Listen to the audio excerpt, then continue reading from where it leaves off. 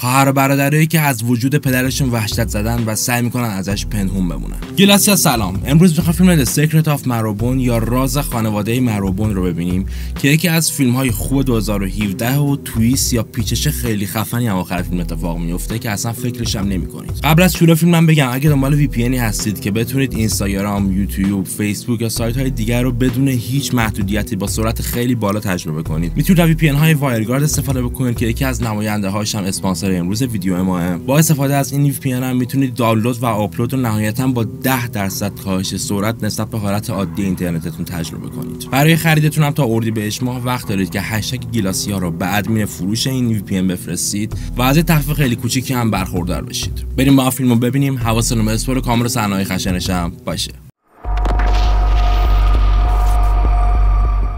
با شروع فیلم مادری رو می‌بینیم که بچه هاشو از شهری به یه شهر دیگه تو انگلیس می‌بره. میگه که از این به بعد قرار با نام مستعار خانواده مروبون زندگی کنیم. تا اینطوری خاطرات بدمون رو پشت سر بذاریم و زندگی جدیدی رو از سر شروع کنیم. برای این مادر و چهار تا بچه خودش همه چیز داره خوب پیش میره و حتی یه دختری به اسم علی که همسایه هم هست میاد و رفیق این بچه ها میشه. اسم بچه ها هم بد نیست یاد بگیریم. پسر بزرگ خانواده جکه که تقریبا مرد خانواده محسوب میشه. پسر بعدی بیلیه که یکم ازش کوچیکتره بعدش دختریه به اسم جین و در آخرم پسر خیلی کوچیکی به اسم سم. متاسفانه بعد مدت حال مادر بد میشه و خب پولی هم ندارن که بخوان اونو برای درمانش خرج بکنن. برای همین هم تقریبا قبول کردن که مادر کارش تموم و قرار از دنیا بره. لحظه های آخر زندگیشم پسر بزرگ جک و کنار خودش میاره و میگه که بعد از من نباید به هیچ کسی بگی که من از دنیا نرفتم. تا حداقل 21 سالت بشه. و الان ممکنه که خونه و همه چیز دولت ازمون بگیره. خب جک هم قول میده که این کارو انجام بده. بعدم مادر میگه که یه جعبه رو از جایی بیرون بیاره و وقتی این کارو می‌کنه می‌بینه که یه دسته پر از پول اونجا و همین لحظه مادر از دنیا میره. جک اعضای خانوادهش کنار خودش جمع می‌کنه و بعد خوندن وصیت نامه مادر که توش نوشته این پول پدرتون نحسه تا جایی ممکن بهش دست نزنید مگر اینکه خیلی کارتون واجب باشه. همدیگه رو بغل می‌کنن و به هم قول میدن که تا ابد کنار همدیگه باشن. شیش ماه از قضیه گذشته و یه روز جین توی اتاقی نشسته و داره گلا رو مرتب می‌کنه که یه دفعه یه گلوله از شیشه میاد و به کنار جین برخورد می‌کنه که اونم با وحشت شروع می‌کنه به صدا زدن برادر بزرگش جک. میگردن اما خب چیز خاصی پیدا نمی‌کنن و بعد این قضیه متوجه یه چیزی میشیم. توی چند ماه اخیر اتفاقای عجیبی تو خونه افتاده که برادر و خواهر رو فکر می‌کنن که روحی چیزی داره توی خونه میاد. و خب اون قضیه شلیک به پنجره هم گردن همون میندازن.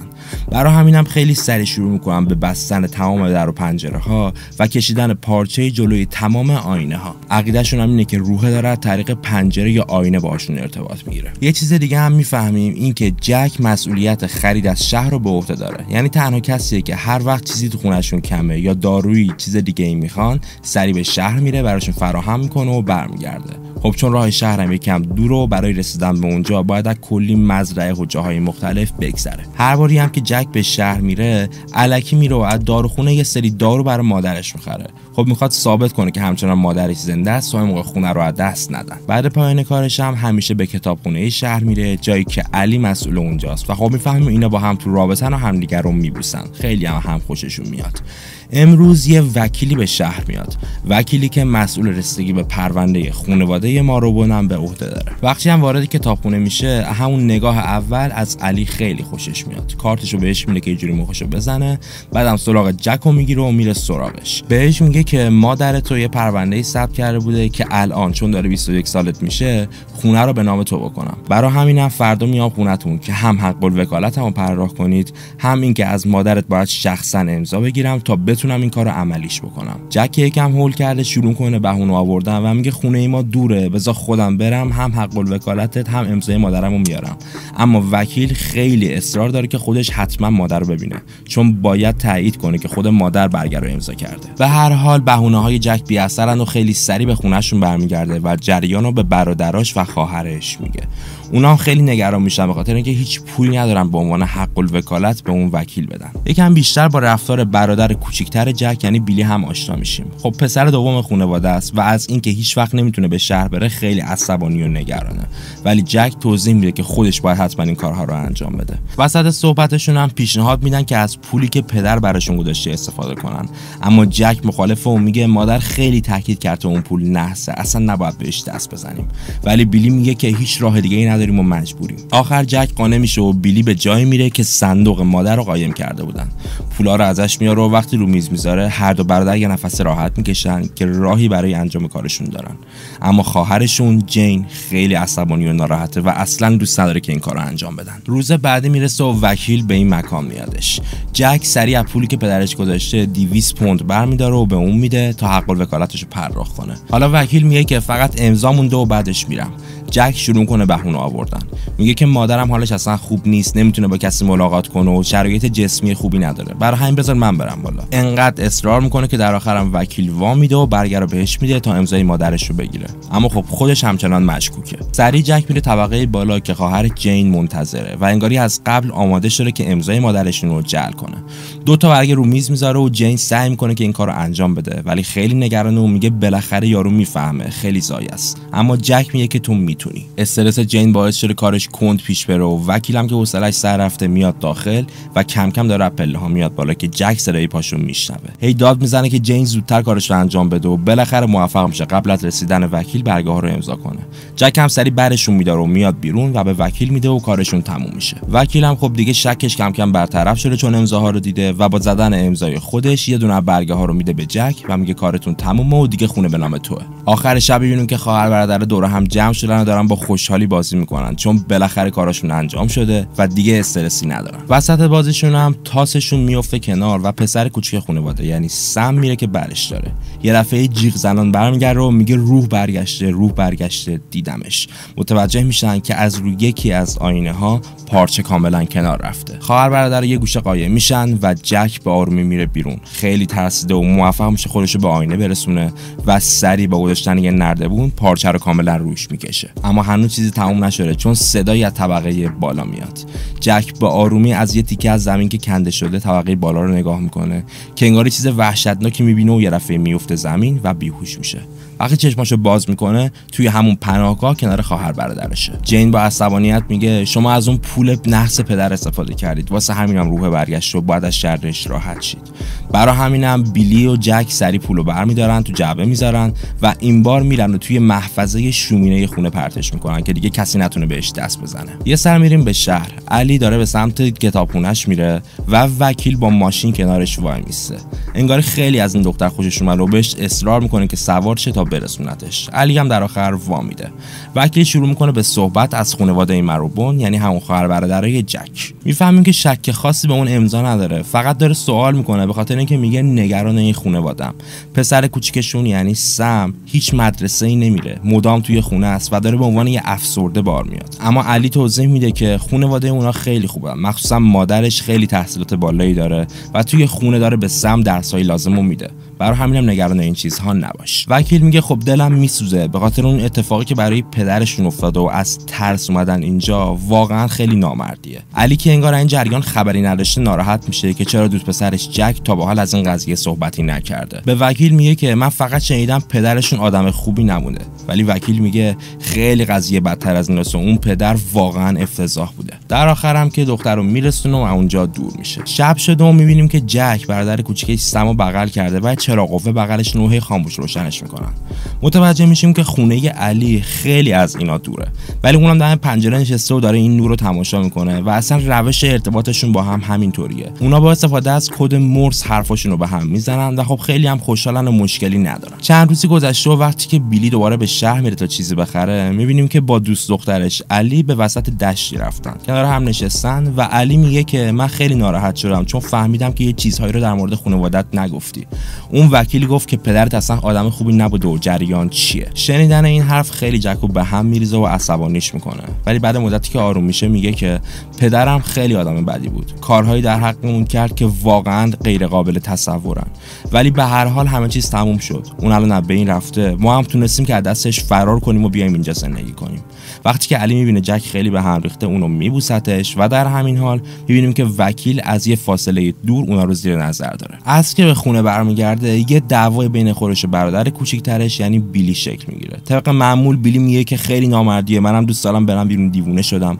اما جک میگه قانون اینه که نباید فعلا از جا بیرون چون خطرناکه. دعوا انقدر بالا می‌گیره که یه رفعه جک بهش فشار عصبی میاد و انگاری بیهوش میشه. از اون طرف برادر کوچیکتر خودشون یعنی سمو می‌بینیم که دلش خیلی برای مادرشون تنگ شده. برای همینم به اتاق اون میره. اتاقی که جک علنا گفته که هیچ وقت پاتون رو داخلش نذارید. سم میره داخل و یکم اطرافو میگرده که یه دفعه پارچه از روی یکی از آینه ها میفته زمین.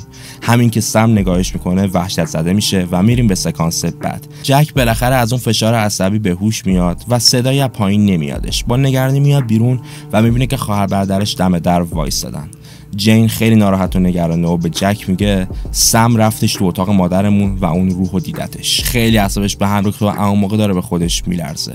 بیلی میگه که ما می‌دونیم اون روح برای پدرمونه. اون پدر عوضی حتی بعد مرگش ما رو ول نکرده. و حالا قسمت بدتری از جریان رو می‌فهمیم. بیلی میگه که یارت پدرمون چیکارش کردیم؟ اونو توی اتاق زیر شیرونی حبس کردیمش تا گشنگی جونش رو دست بده. فقط به خاطر اینکه ازش متنفر بودیم. جن میگه که خب این کار رو مجبور بودیم انجام بدیم. ولی شاید اگه براش مراسم خاکسپاری درست انجام بدیم و بالاخره خاکش کنیم روحش از اینجا بره. جک همه این حرفا رو میشنوه ولی میگه نه اون لیاقت یه خاکسپاری درست رو نداره. دوباره میریم به شهر. وکیل به دیدن علی میاد و بهش میگه که من یه کار خیلی خفن پیدا کردم و باید برم توی دادگستری شهر اصلیمون بمونم. بیا با هم بریم. من می‌تونم خوشبختت کنم و خلاصه بهش پیشنهاد ازدواج میده. اما علی میگه که من حاضر نیستم این کار رو بکنم و وکیل میگه که می‌دونم چون از جک خوشت میاد. بعدم یه پرونده ای رو بهش میده میگه اینو نگاه کن. مطمئنم اگه بخونیش نظرت در مورد اون عوض میشه. جک اصلا آدمی که فکر می‌کنی نیست. علی مردده ولی با رفتن وکیل پرونده رو باز می‌کنه و با خوندن شوک میشه. می‌فهمه که پدر این خانواده یه آدم خیلی عوضی بوده که دزدی می‌کرده به دیگران آسیب جسی میرسونده و بدترین کارش هم اینه که با دختر خودش. یعنی جینی که دیدیم خواهر جک بود رابطه اجباری داشته و خودش رو به اون تحمیل می‌کرده و برای همینم میفته زندان. جک هم به عنوان کسی که خیلی از پدرش متنفر بوده اول از همه حاضر میشه توی دادگاه علیه شهادت بده. همه چیز خوب پیش میره تا اینکه پدر از زندان فرار می‌کنه. علی هیچ کدوم این جریانا رو نمی‌دونسته و حالا یکم به دوست پسر خودش هم شک می‌کنه. یعنی چه بلایی سر اون پدر بعد از فرارش اومده. برمیگردیم به خونه مرابونا و جین رو می‌بینیم که داره به یه راکون توی اتاق زیر شیروونیشون غذا میده. راکونی که انگاری خیلی وقتا میاد اونجا. همین که داره این کارو می‌کنه یه نفر از زیر شیروونی دست اونو لمس میکنتش جین جیغ می‌زنه و میاد عقب و می‌بینه که راکون می‌خواد فرار کنه اما انگاری یه نفر تو زیر شیروونی گرفترش و میکشتش عقب. برمیگردیم پیش وکیل که داره لوازمش رو جمع می‌کنه و خوشحاله چون فکر می‌کنه با پرونده که به علی داده اون هر جوری شده باهاش به شهر میاد.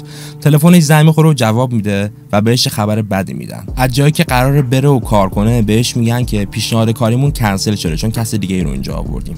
فقط در صورتی می‌تونیم استخدامت کنیم که بیای یه سهامی از اینجا رو بخری که حدود 5000 دلار میشه. وکیلم خب پول زیادی نداره و خیلی عصبانی شده و اتاقش رو به هم میریزه که نگاهش به یه برگه روزنامه میفته برگه که در مورد پدر جک و همون خواهر برادرش نوشته شده. نوشتن که قبل از اینکه بیفته زندان ده هزار پوند یه جا دزدیده و خب یه جا قایمش کرده. ولی حتی وقتی میوفه زندان رو فرار می‌کنه هم هیچ کس نتونسته هنوز پیداش بکنه. وکیل می‌فهمه که این ده هزار پوند قطعا تو خونه همین خانواده است و اونا باید یه جوری بهش دسترسی داشته باشن. می‌بینیم که خیلی سریع خودش رو به خونه اونا میرسونه. و جک که میبینتش میاد دم در. با نگرانی پرسه چی شد و وکیل با لبخندی میگه که من می‌دونم اون امضاتون رو جر کردید. همون اول می‌دونستم و حرف خاصی نزدم. ولی خب الان یه سری جریانایی پیش اومده و می‌خوام به همه لش بدم. مگه اینکه حاضر باشی به هم 5000 دلار پول بدی. از اون پولایی که می‌دونم واسه پدرت بوده و ازش دزدیدی بعدم از اونجا میره و جک کنار خواهر برادرش میمونه و با نگرانی همون نگاه می‌کنن. تقریبا هوا تاریک شده و می‌بینیم که بیلی یواشکی میره سراغ همون محفظه شومینه. به خواهر برادرش نگفته چون می‌دونه مخالف مخالفن اما می‌خواد اون پولو برگردونه تا از شر اون وکیل راحت شن خودش با تنابی میبنده و از محفظه شومینه میره پایین و می‌خواد پولو برداره که یه دفعه وحشت زده میشه. اون طرف محفظه پدرش رو می‌بینه که تو اتاق زیر شیروانیه و مشعلی رو دست گرفته.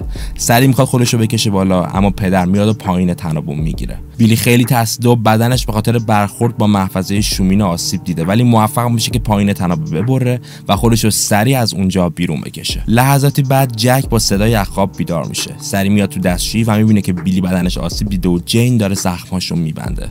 تازه می‌فهمه که بیلی رفته از اونجا پولو برداره. بیلی وحشت زده بهش میگه پدرمون هنوز زنده است. با چشمای خودم دیدمش. تو اتاق زیر شیروانیه استخونای کلی حیوان اونجا افتاده که معلومه پدر با اونا زنده مونده. حتی یه سری ظرف گذاشته و آب بارونو جمع کرده تا اینطوری آب بخوره و تشنش نشه جک داره این حرفا رو میشنوه و هر لحظه بیشتر عصبانی میشه و میترسه که یه دفعه تشنج می‌کنه و میفته رو زمین. جین با وحشت میره طرف برادرش و موفق میشه که بعد مدتی اونو آرومش کنه. حالا که آروم شده جین به برادرش میگه باید علیو در جریان بذاریم. اون هم می‌تونه کمک کنه که این وکیل رو دست به سرش کنیم. همین که شاید بتونه یه راهی پیدا کنه تا پدرمون که هنوز زنده است و به پلیس تحویلش بدیم. همین هم میشه که شب وقتی طبق معمول می‌خوام با کد مورس صحبت بکنن جک به علی میگه که فردا به همون کوهستانی بیا که همیشه میریم کارت دارم. علی هم قبول می‌کنه. صبح بعدی هم خودش به اونجا میرسونه اما خبری از جک نیست. ولی یه دفترچه اونجاست که کاملا تو چشه و علی برش میداره. یه دفترچه که مثل دفتر خاطرات جک می‌تونه باشه. علی داره میخونتش و همین لحظه می‌بینیم که وکیل به خونه مروبون میاد تا پولی که بهشون گفته بوده رو بگیره. ولی خبری از هیچ کس نیست. شروع به گشتن می‌کنه و متوجه میشه که در ورودی اتاق زیر شیروانی شکسته و میره طرفش. برمیگردیم پیش علی که داره دفتر خاطرات رو می‌خونه. به جای می‌رسه که توش نوشته شده پدرمون یه بار پیدا شد و به سمت خونمون شلیک کرد. حالا می‌فهمیم اون اول که دیدیم یه نفر سمت جین شلیک کرد همون پدرشون بوده. جک هم که صداشون رو شنیده سریع اومده بیرون و خواهر برادرش رو تو اتاق زیر شیروانی پنهون کرده و خودش رفته بیرون تا با پدرشون روبرو شه اون جعبه ای که مادرشون هم به ارث گذاشته بود و برداشته تا پولهاشو به پدرشون بده بلکه ولشون کنه و از اینجا کلا بره. بیرون خونه میگرده و بالاخره به پدر می‌رسه. پدری که تا الان فهمیدیم چقدر عوضیه و خب قرار نیست به همین سادگی بیخیال بشه. اون می‌خواد پسرش که علیه شهادت دادن امتحان بگیره. شروع می‌کنه به زدنش حتی می‌خواد خفش کنه. اما لحظه آخر پشیمون میشه. نقشه های دیگه ای داره. فقط جک رو بیهوش می‌کنه و به سمت خونه راه میفته ساعتی بعد جک به هوش میاد و خودش رو به خونه میرسونه که چیزی می‌بینه که از وحشت خشکش می‌زنه. تو اتاق زیر شیروانی خواهر برادرش کنار هم دراز کشیدن و به شکل وحشتناکی جونشون از دست دادن. کاری که پدر باهاشون کرده. و خودش هم تو اتاق زیر شیروانی کنار اونا منتظره. اما جک به جای که با پدر درگیر بشه سری میاد بیرون و در رو کاملا قفل می‌کنه. یه جوری هم مهرمون می‌کنه که پدر دیگه نتونه بیاد بیرون. بعد میاد پایین اسلحه پدرش رو برداشته و می‌خواد جون خودش رو بگیره چون دیگه هیچی براش مهم نیست. اما لحظه آخر صدای خواهر برادرش رو دوباره میشنوه. خب این توهمش رو می‌بینه که اونا کناری وایستادن انگاری نقشه دیگه برای خودش میریزه و شروع می‌کنه به شکستن تمام آینه ها و پنجره های خونه. اون نمی‌خواد بهش یادآوری بشه که چقدر تنهاست و همه رو دیگه از دست داده. برای خودش هم چند تا شخصیت خیالی می‌سازه. هر سری به عنوان یکی از خواهر برادرش رفتار می‌کنه و خب اینطوری انگاری می‌خواد با غمش کنار بیاد. علی دفتر خاطرات رو میبنده و از وحشت خشکش زده. تازه فهمیده که عشق زندگیش یعنی جک یه آدم روانی بوده که خودش به عنوان خواهر برادرش جا می‌زده. و علاوه بر اون پدر روانی خودشم. توی طبقه بالا زندانی کرده و خب مشخصا تا الان جونش رو گرفته. سری خودش رو به خونه جک میرسونه و می‌بینه که تو قسمتی از خونه که همون پناهگاه خواهر برادر بوده تنهایی نشسته و داره هر بار به عنوان یکی از اونها صحبت می‌کنه. میره داخل و سعی می‌کنه جک رو آرومش کنه. اما هرچی که میگه جک مخالفت می‌کنه و میگه نه خواهر برادرای من زندن دارم میبینمشون. انگاری نمی‌خواد با حقیقت کنار بیاد. علی خب راهی نمی‌بینه و می‌خواد از خونه بره که تازه متوجه کیف وکیل میشه و می‌فهمه که اومده اینجا. دنبالش میگرده و با دیدن در شکسته زیر شیروانی می‌فهمه که رفته اونجا. وارد میشه و اول از همه بدنهای پوسیده این خواهر برادرها یعنی سم جین و بیلیو می‌بینه. خیلی ناراحته و طرف دیگه وکیل رو می‌بینه که افتاده و گردنش به شدت آسیب دیده میدوه طرفش و وکیل انگاری می‌خواد بهش بگه که مواظب باش. همین که علی برمیگرده می‌بینه پدر این خانواده هنوز زنده است و بهش حمله می‌کنه. پدری که از بس گشتگی کشیده خیلی لاغر شده ولی همچنان همونقدر عوضی و بیرحمه. یه لحظه علی فکری به سرش می‌زنه و شروع می‌کنه به صدا زدن جک و خواهر برادراش. انگاری می‌خواد جک و با استفاده از شخصیت های خیالی که برای خودش ساخته سمت خودش بکشونه که موفق هم میشه. جک میاد بالا و بدون رحمی به پدرش حمله می‌کنه. با شلی که اصلا همکار اونو تموم می‌کنه و میریم به چند ماه بعد. علی به یه تیمارستان روانی رفته که جک اونجا بستریه. با دکترها صحبت می‌کنه و اونا می‌خوان مرخصش کنن. فقط بهش میگن که این داروها رو باید بهش بدی تا شخصیت های خیالی دیگه برای خودش نسازه و بتونه با زندگیش کنار بیاد. بعدم جک رو با خودش به خونه می‌بره و خب یه مدت می‌بینه که چقدر این پسر عصبانی و ناراحته. افسردگی گرفته و انگاری فقط به زور قرص زنده است. برای همین هم یه تصمیم مهم می‌گیره. قرص های اونو دیگه قطع می‌کنه. و با خودش میگه که جک با توهم اینکه خواهر برادرش زندن خیلی خوشحالتر بود و می‌تونه زندگی کنه. پس منم ترجیح میدم که همونطوری زنده بمونه و خودم مراقبشم سکانس آخر فیلم علی و جک رو می‌بینیم که روی صندلی نشستن و جک خواهر برادرش رو می‌بینه که از دور دارن به طرفش میان. ولی خب می‌دونیم این فقط ساخته ذهنشه و اینجاست که فیلم به پایان می‌رسه. فیلم مرابونه که از اونایی هستش که به نظرم خیلی خفن آخرش تموم میشه و هر کسی فکرش رو نمی‌کنه. به خاطر اینکه اصلا کل فیلم داره جوری پیش میره که شما به این باور برسید که یه روح توی خونه است دنبال یه دلیل ماورا و طبیعه بگردی که چرا این اتفاقا میفتن یه فیلم تقریبا مشابه بهش هم قبلا توی کانال گذاشته بودم یعنی آدرز یا دیگران. که خب در مورد یه خانواده ای بود که فکر کنم به خونهشون رو اومده و تقریبا توی همین دوره های زمانی هم داره فیلمش میگذره. اونم خب به نظرم خیلی خفن آخرش تموم میشه ولی یه تفاوتهایی با این داستان داره. چیزی که Marrowbone و unique یا خاص میکنتش اینه که میاد در مورد یه مشکل روانی یا چند شخصیتی بودن آدم ها صحبت می‌کنه. چند قطبی بودن که خب توی فیلم Split هم در موردش حرف زده بودیم. افرادی که میان برای خودشون شخصیت های مختلفی رو می‌سازن تا با یه غم خیلی بزرگی از زندگیشون کنار بیان.